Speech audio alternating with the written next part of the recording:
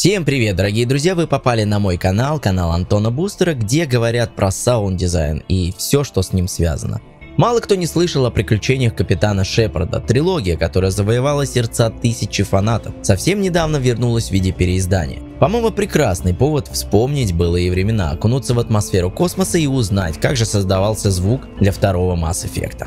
Но перед тем, как мы начнем, я попрошу тебя подписаться на канал, если ты до сих пор не подписан, и поставить лайк.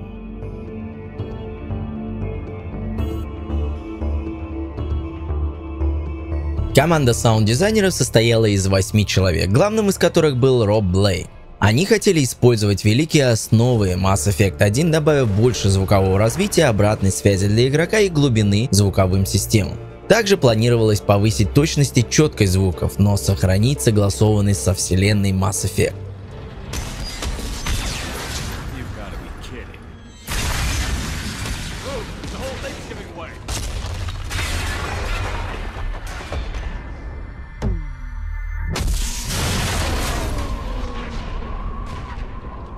BioWare понимала важность звука и поддерживала усилия звуковой команды. Поэтому, чтобы внести множество улучшений звука, команда очень тесно работала с другими отделами, иногда напрямую интегрируясь в другие команды. Mass Effect 2 гораздо более мрачная и жестокая игра, чем первая часть, поэтому была сложной задачей добиться этого ощущения, сохраняя при этом согласованность с первой частью. Но на самом деле самые большие проблемы были связаны с фундаментальными изменениями в технологии и команде по сравнению с Mass Effect 1.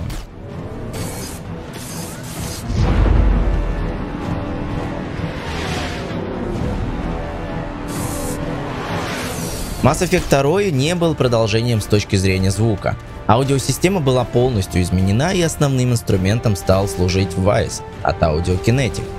Поэтому все ресурсы, технологии, инструменты и системы пришлось внедрять заново. Команда воспользовалась этой возможностью, чтобы переработать практически весь звук в игре, от силы и оружия до музыкальной системы и озвучки персонажей.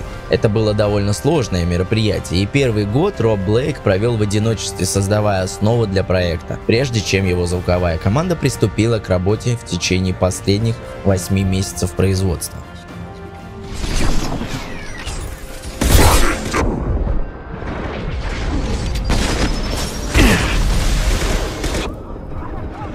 У BioWare была большая команда Роб в качестве руководителя 9 штатных саунд-дизайнеров, аудиопродюсер Марван Одекс, пара аудиопрограммистов и еще несколько специалистов по обеспечению качества звука. Такой размер команды был необходим для создания звука к 60 уровням, 150 роликам, 20 тысяч анимациям разговоров, 32 тысячам строкам диалогов и примерно к 40 часам игрового процесса до уровня качества, которого они хотели достичь. Крупномасштабные ролевые игры, которые они делают BioWare, требуют, чтобы команды такого размера добивались достойного качества, не тратя годы на их завершение.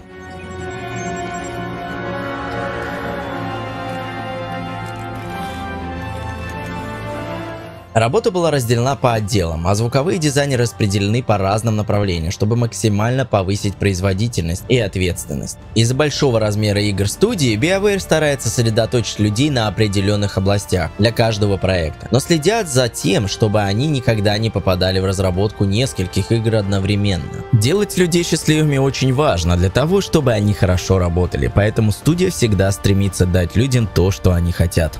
Основные инструменты команды всем известные Pro Tools, SoundForge, плагины Waves, Native Instruments, Camel Audio, Ableton Live и так далее. У каждого саунд-дизайнера также была пара компьютеров, система 5.1, множество рекордеров и микрофонов.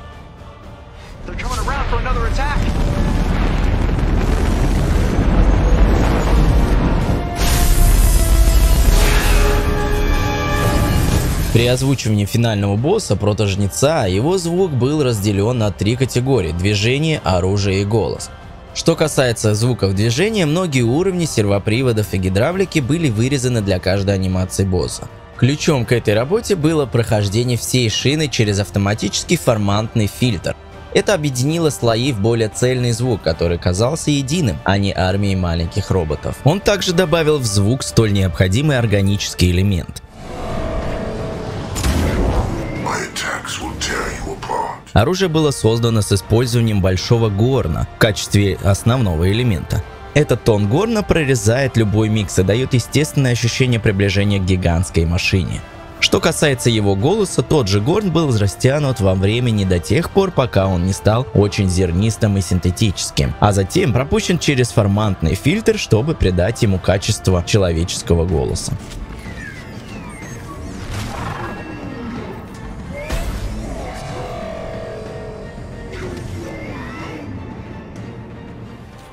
Цель при создании звуков существ заключалась в том, чтобы избежать эффекта сэндвича с животными, характерного для многих многослойных образцов, и создать уникальный лейеринг. С этой целью саунд-дизайнеры выполняли вокализации, которые затем редактировали и обрабатывали.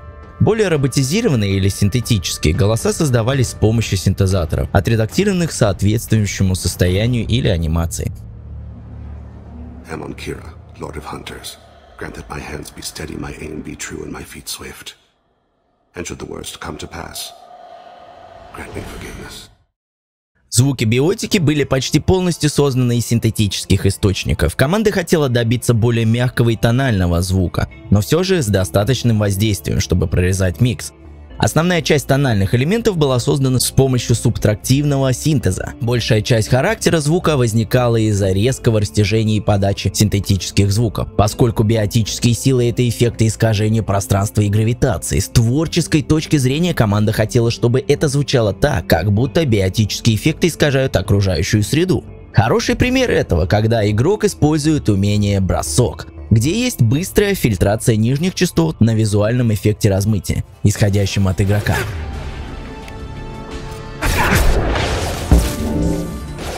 Звуки основного орудия были созданы с использованием комбинации гранулярного синтеза, спектрального размытия, реальных орудий и записи автомобилей.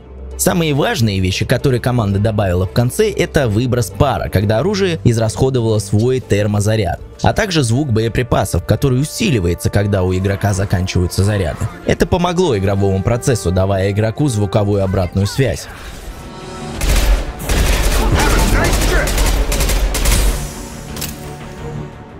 BioWare создали собственную интеграцию Vice в Unreal, поэтому Роб Блейк работал в тесном сотрудничестве с аудиопрограммистом Дэвидом Стритом, чтобы разработать все инструменты, которые использовались в Unreal. Такие вещи, как излучатели звука, его громкость, музыкальная система, система Фоули, система графического интерфейса и так далее.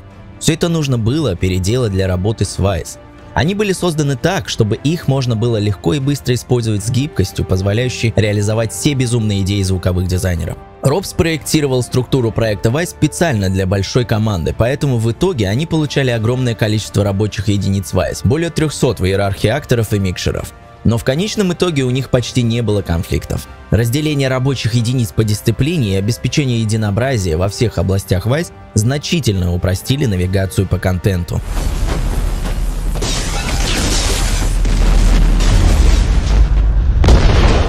Джереми Войло, саунд-дизайнер, ответственный за Фоули, рассказывал, что для Mass Effect 2 было записано много оригинального звука, и Фоули не стали исключением. Чтобы смоделировать футуристические материалы в игре, они обратились к различным видам спортивного снаряжения. Защитное снаряжение, такое как бронежилеты для мотоциклов, хоккейные наплечники и олдскульные лыжные ботинки, придают приятное ощущение тряски, соответствующее типам брони в игре. Они также записывали с близкого и дальнего ракурса, смешивая их во время изменения ракурсов в игре. Это красиво сгладило переходы.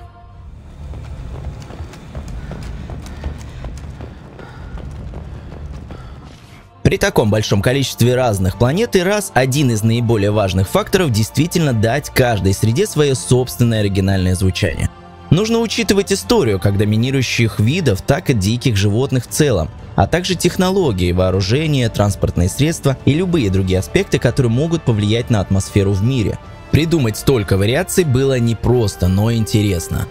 Звуки техники и индустрии, вероятно, были самой большой группой звуков, но с такими разнообразными и детализированными гонками это был отличный источник вдохновения. Например, Кроганы – большая грубая раса воинов, но не самая технологически продвинутая. Подход к их родному миру был более скудным и грязным. Старая техника, громкое шипение труб и более темный тональный элемент, чем, например, у кварианцев, который происходит из более технологически продвинутого мира.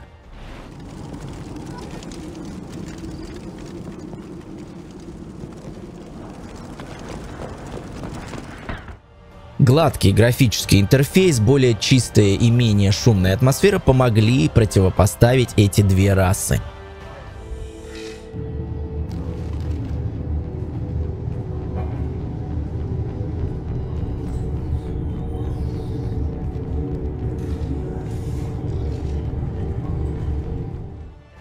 Такой же подход применялся и к остальным локациям Mass Effect 2. Омега. Темное место, оно полно воров и наемных убийц и существует далеко за пределами закона. Идея создания такой планеты заключалась в том, чтобы придать ей больше решимости. Темная тяжелая музыка, играющая сквозь стены, споры и выстрелы вдалеке, разбивание бутылок и подозрительные торговцы – все это добавляет мрачности.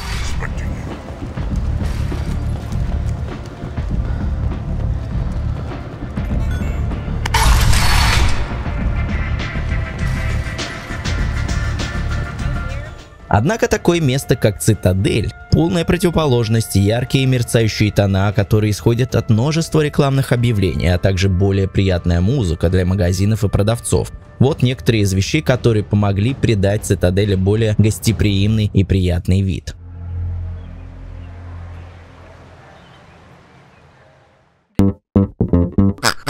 Подписаться на канал, ну, если друзья, до сих надеюсь, пор не вы словили. Ну и ждите новых видосов. До скорых встреч. Только в этот раз обращаю внимание на саунд-дизайн. Ведь после того, как мы начинаем слушать, звук в игре преображается и усиливает погружение. Но перед тем, как вы побежите устанавливать игру, не забудьте поставить лайк,